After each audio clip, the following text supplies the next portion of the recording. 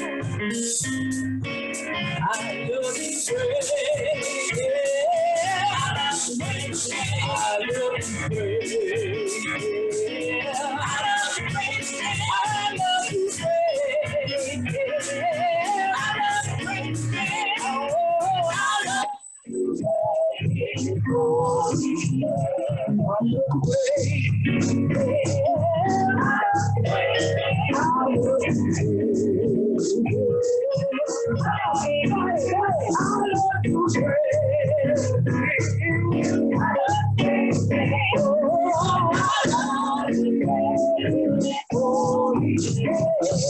Oh,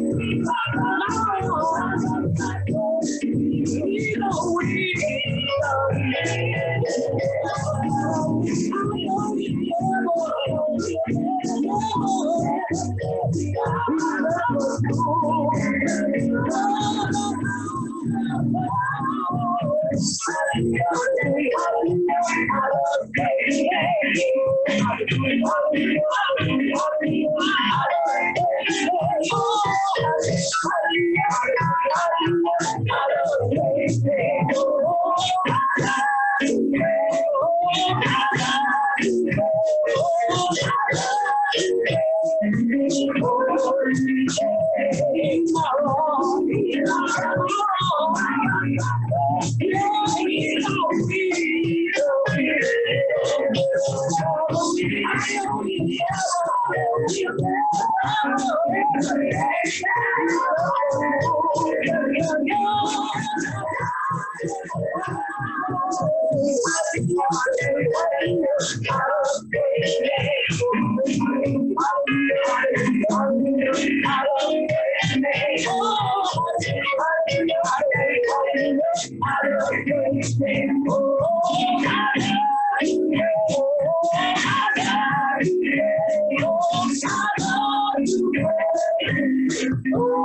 Amen.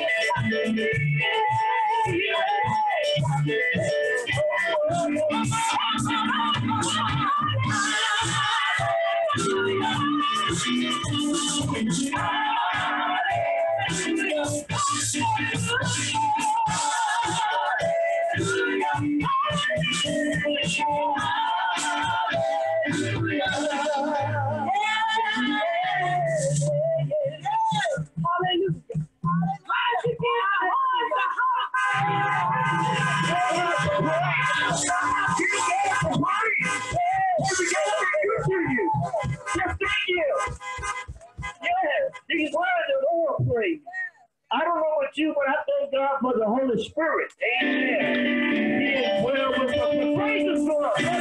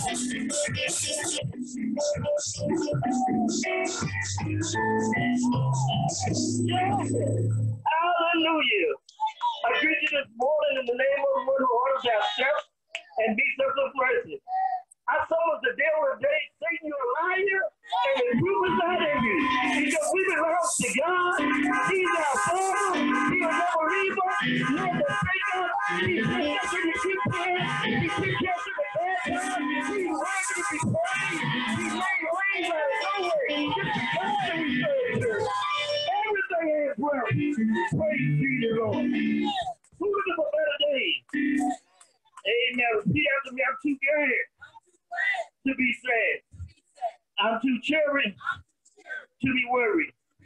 I'm too serene to be mean. I'm too grateful to be hateful. I'm too blessed to be stressed. I'm too rich to be poor. I'm too happy to be snappy. I feel good, real good, in every way, each and every day. I'm better today than I was yesterday. I'm better tomorrow than I am today. Give God a hand, of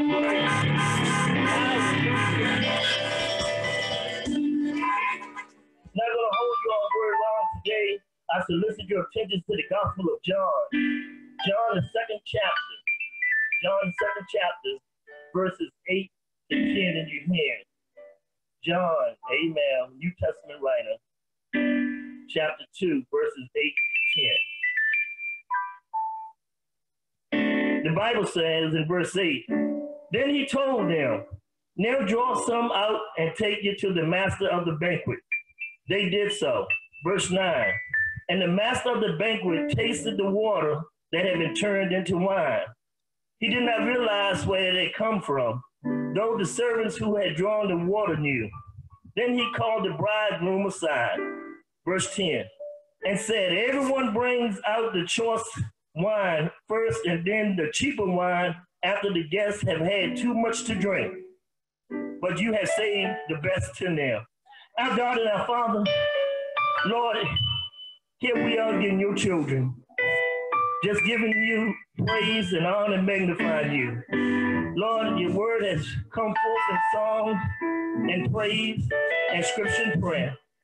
God, you have ordained for this preacher to stand behind the spectrum today. I have no power, God, but anoint me afresh. Take me to a place where I've never been before, where they not hear none of me, but they hear all of you, oh God. We give you praise. In Jesus' name we pray. And the people of God said amen. We'd like to take, take this message today. The best is yet to come. The best.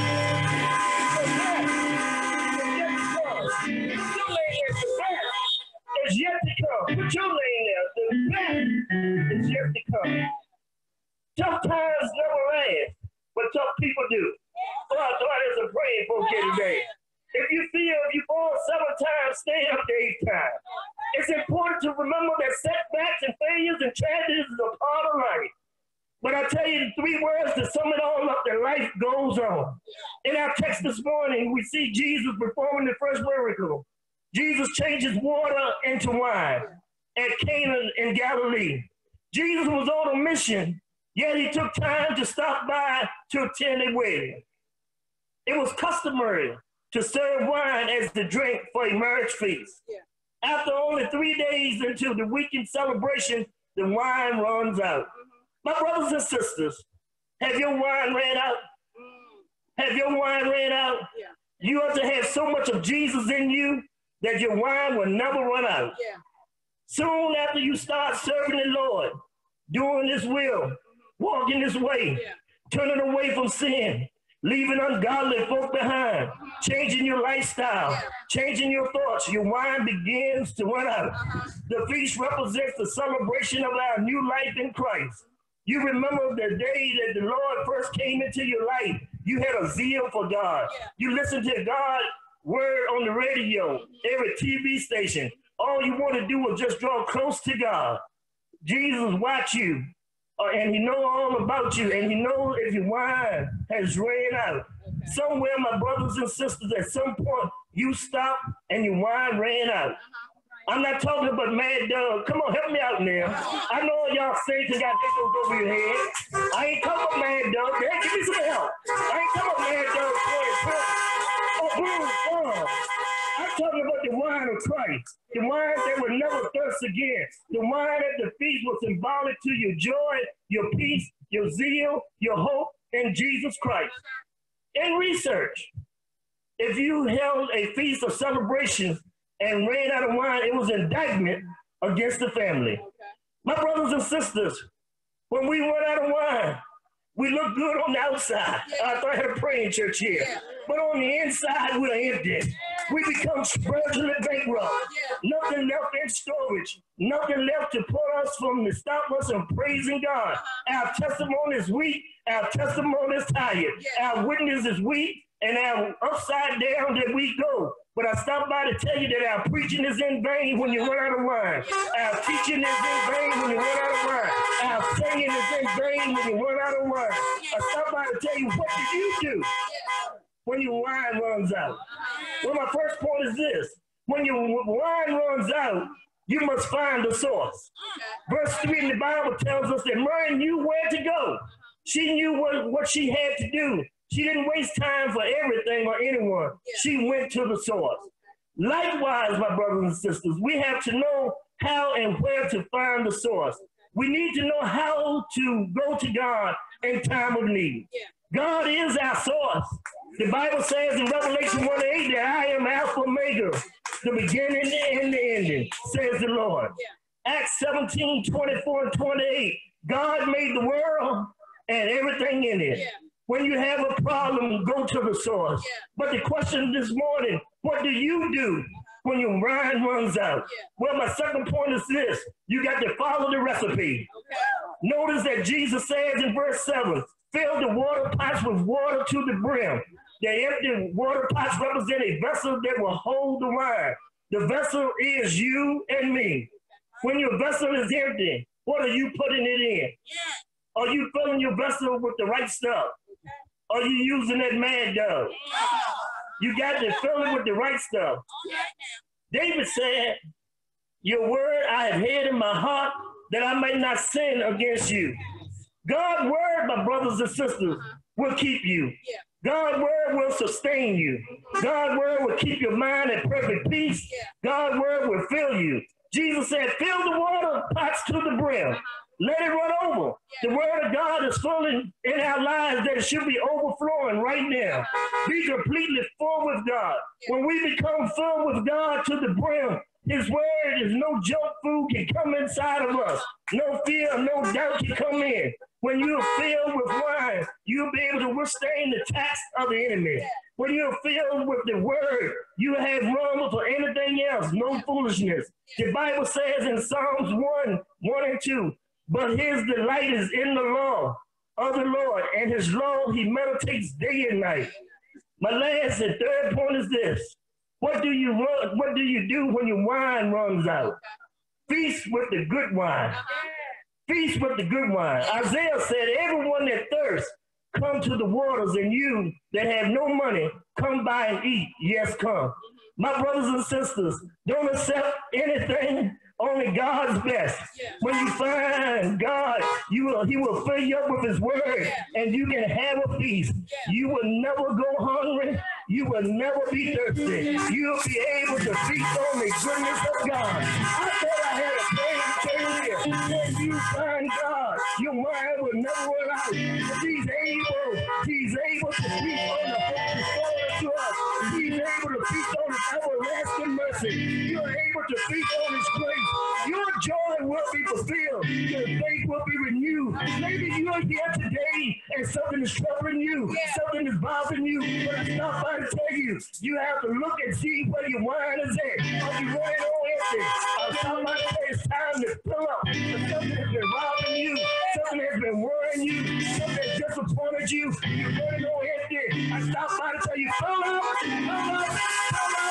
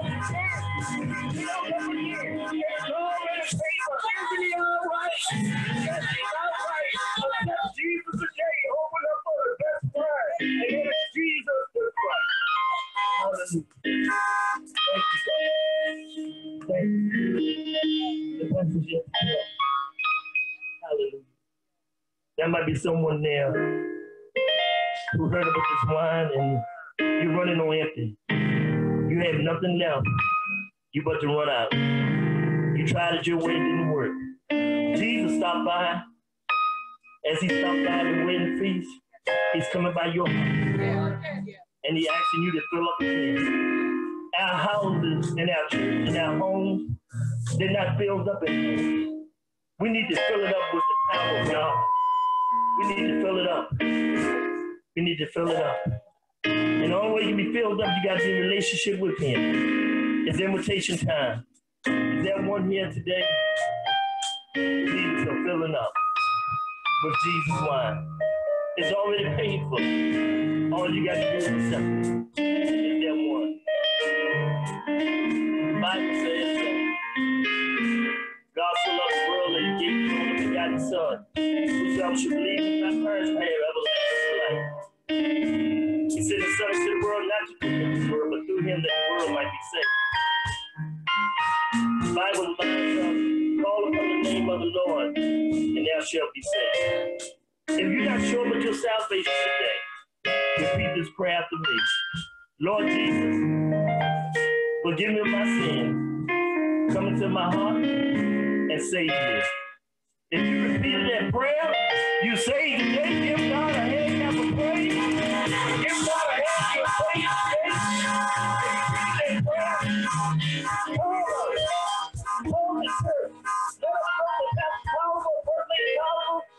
Saved on today. We got saved on a God today. We ran out of wine, but we thank you for the word that filled us back up again. They call us at 804 457 2163. Lord, we come here. All of us, oh God, has ran out of wine at one time or another. We tried the world, and the world wine don't last. We know, God, that your wine will last us forever. Fill us up right now. Fill us up to, the brim where our cup runneth over. That's what they said. He said, surely goodness and mercy shall follow me all the days of my life. Be filled today. Whatever you might be going through, heartbreak, ups and downs, trying to figure this pandemic out,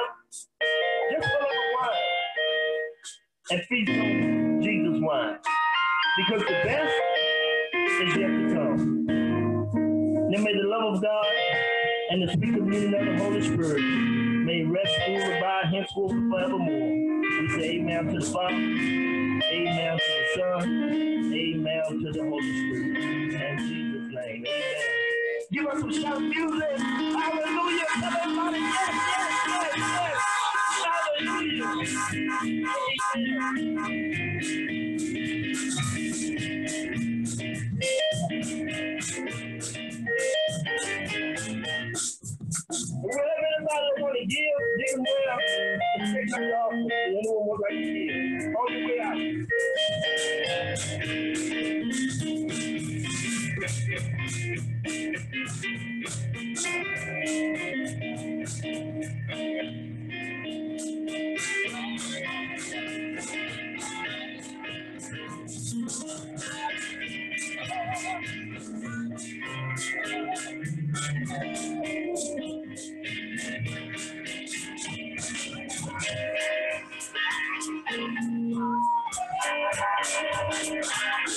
Thank you.